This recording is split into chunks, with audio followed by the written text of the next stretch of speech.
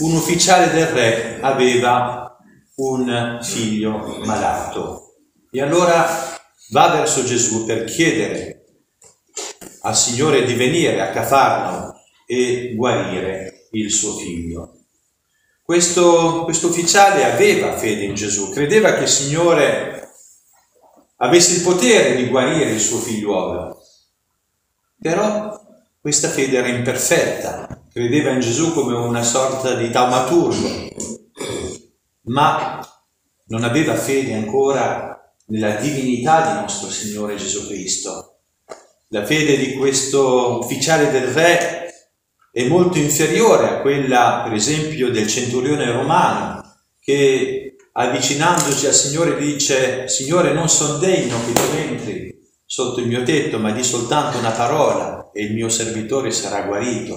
Credeva già questo centurione che Gesù, essendo Dio, figlio di Dio, poteva agire anche a distanza. E il Signore loda la fede del centurione, gli dice non ho trovato una fede così grande in tutto Israele. Quindi questo ufficiale del re aveva fede, ma una fede imperfetta. E San Bede il Venerabile ci dice che il Signore, piano piano, agisce in modo che questa fede diventi sempre più perfetta.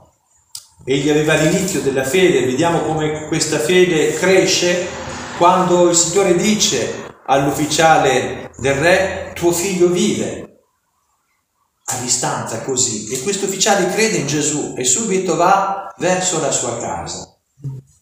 Ecco che gli vengono incontro dei suoi servitori per dirgli che all'ora stessa in cui Gesù aveva detto tuo figlio vive, ecco che il suo figliolo aveva cominciato a star meglio e era uscito dal pericolo della morte. E allora ecco che la sua fede che era cresciuta diventa perfetta, credette in lui, ci dice il Vangelo, e tutta la sua famiglia questo ufficiale del re diffuse la fede in tutta la sua famiglia. Vediamo come il Signore realizza dei miracoli straordinari durante la sua vita pubblica, però richiede sempre la fede. È la fede che è all'origine dei miracoli. E il Vangelo ci dice che appunto a Nazareth, che era la sua patria, Gesù fece pochi miracoli perché non trovò questa fede pochi credettero in lui. E Gesù dirà, nessuno è profeta nella sua patria. E vediamo anche come il Signore, quando trova la fede, agisce sempre in modo da far crescere questa fede. C'è questo episodio bellissimo dei dieci leprosi che sfidano la morte, avvicinandoci a Gesù nei pressi di un centro abitato, rischiavano la lapidazione per chiedere al Signore di essere guariti una, una fede già grande, ma Gesù non li guarisce subito. Dice loro andate e mostratevi ai sacerdoti. E loro pur restando lebrosi cosa fanno? Vanno verso Gerusalemme per mostrarsi ai sacerdoti e nel percorso saranno guariti. Uno solo tornerà per ringraziare il Signore e a lui solo Gesù dirà la tua fede ti ha salvato perché non è sufficiente la fede ci vogliono anche le opere, fra le quali la gratitudine. C'è un altro episodio molto bello di questa donna cananea, pagana, che chiede al Signore di guarirgli la figlia e Gesù non ascolta neanche all'inizio. E poi, po- poiché essa insiste, il Signore gli dice non è bene prendere il pane dei figliuoli per darlo ai cagnolini. Lei era pagana, Gesù era venuto per per eh, il popolo di Israele, il popolo scelto da Dio per dare il Messia. Questa donna non si scoraggia, dice Signore è vero in tutta umiltà, ma anche i cagnolini sono sotto la tavola e mangiano le, le briciole che cadono. E il Signore allora ti dice, grande o donna è la tua fede, va, tua figlia è guarita.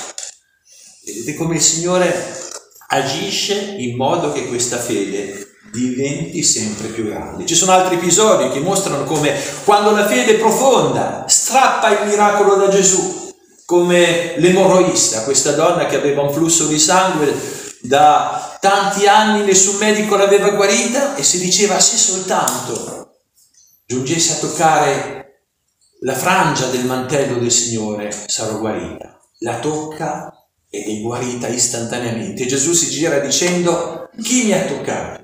Era circondato dalla folla, gli apostoli gli dicono, Signore, chi ti ha toccato? Guarda tutta la folla intorno a te.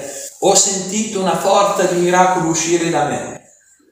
Questa donna ha strappato il miracolo da Gesù per la sua fede. Questo è molto importante per noi. Quando preghiamo, dobbiamo pregare con fede. E se il, Signore, se il Signore non ci esaudisce subito, è proprio perché vuole provare la nostra fede. È il momento di perseverare, di insistere.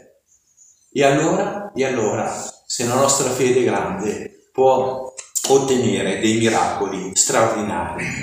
La fede ha un'importanza capitale nella nostra vita cristiana, il primo passo verso Dio. San Paolo ci dice che senza la fede noi non si può piacere a Dio. E Gesù dicendo agli apostoli di andare a predicare il Vangelo dappertutto, dirà chi crederà sarà salvo, chi non crederà sarà condannato. E la Chiesa al momento del battesimo, quando un bambino è presentato, chiede a questo bambino cosa domandi alla Chiesa di Dio e per la voce del padrino e la madrina egli risponde la fede, la fede. Cosa ti procura la fede? La vita eterna. Ecco perché noi dobbiamo conservare questa fede, aumentarla in noi e proteggerla, proteggerla in questo periodo così difficile. Cos'è quindi la fede? La fede non è un sentimento, non è la consolazione che possiamo avere ogni tanto quando preghiamo, quando riceviamo la Santa Comunione, no. La fede è un'adesione dell'intelligenza alla verità rivelata da Dio, ai misteri che Dio ci ha rivelato che superano la nostra ragione, che non possiamo comprendere perfettamente, ma li crediamo perché Dio ce li ha rivelati e non può né ingannarsi né ingannarci. Quindi un'adesione dell'intelligenza sotto l'influenza della volontà e della grazia di Dio, certamente. Non si può credere in Lui senza, senza la sua grazia, ma questa grazia il Signore la concede perché vuole la salvezza di tutti gli uomini. Gesù è morto, è morto per, per tutti, per la salvezza di tutti e se qualcuno si danna è per colpa sua. E la ragione ci dispone alla fede, perché la ragione ci porta a sapere con certezza che è Dio che ci ha parlato. Vedete, Gesù ha rivelato dei grandi misteri come quello della Santissima Trinità. Richiedeva la fede perché? Perché parlava in nome di Dio. E come provava il fatto di parlare in nome di Dio? Facendo dei miracoli straordinari. Il miracolo è la sospensione della legge della natura che solo Dio può operare. E quindi Gesù dicendo io sono il figlio di Dio e per provarvelo guarisco i lebrosi, risuscito i morti, do la, la vista ai ciechi. Ecco che di fronte a queste opere la risposta di ogni uomo che cerca la verità deve essere la fede, credere a questi misteri che superano la, la, ragione senza contraddirla, perché la ragione ci dice che quest'uomo parla in nome di Dio, perché può fare solo quello che Dio fa. La fede in Gesù è nella Chiesa che trasmette appunto l'insegnamento di nostro Signore Gesù Cristo. Quindi, siccome la fede è così importante, il demonio cerca evidentemente di distruggerla, perché se distrugge la fede nelle anime, le conduce all'inferno. Ecco perché agisce negli spiriti con tentazioni per allontanare, allontanare il nostro cuore, la nostra mente dall'adesione ferma a queste verità che Dio ci ha rivelato.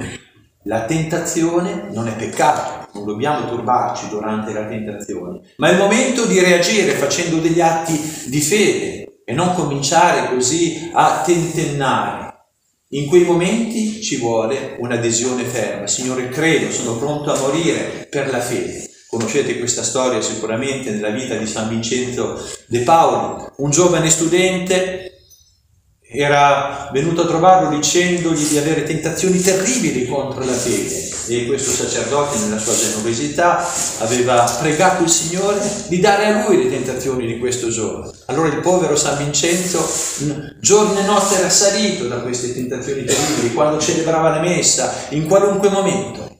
E allora, e allora cosa decide di fare? Scrivere il credo e firmarlo col proprio sangue. E, solo, e, se, e, si mette questo scritto sul petto. Ogni volta che aveva una tentazione si toccava il petto come per rinnovare questo atto eroico di fede. E così il demonio che non ama essere sconfitto l'ho lasciato tranquillo. Però quando la pace ritorna nella serenità, allora è bene approfondire la fede, cercare spiegazioni, approfondire la verità rivelata, anche perché noi dobbiamo trasmettere, trasmettere questa fede. E per proteggere la fede dobbiamo evitare ogni lettura empia. Oggi il mondo, tante letture cattive circolano nel mondo, quanto danno può fare un libro empio? Dobbiamo proteggere noi e i nostri figli da tutta questa sorta di, di letture. E al contrario, dobbiamo approfondire, approfondire la nostra fede con buone letture che la nutrono e poi combattere l'orgoglio intellettuale, questo orgoglio che tende ad abbassare tutto al livello della propria povera intelligenza, rifiutando di accettare ciò che la supera. Vi sono dei misteri anche nell'ordine puramente naturale. L'universo è finito, è infinito, grande mistero, il mistero della vita, il mistero di tante malattie che non si riesce a sconfiggere ancora oggi. Ebbene, non dobbiamo stupirci che in Dio ci siano dei misteri che superano la nostra povera intelligenza, ma la, la certezza della nostra fede è fondata su Dio, che è la verità, la verità stessa. E soprattutto dobbiamo proteggere la nostra fede in questo periodo di crisi all'interno della Chiesa, dove false dottrine sono trasmesse anche dalle più alte autorità. È terribile l'epoca che noi viviamo oggi.